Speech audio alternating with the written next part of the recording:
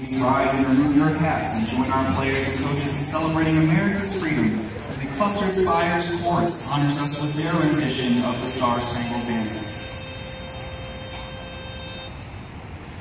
Oh, say can you see by the dawn's early light what so proudly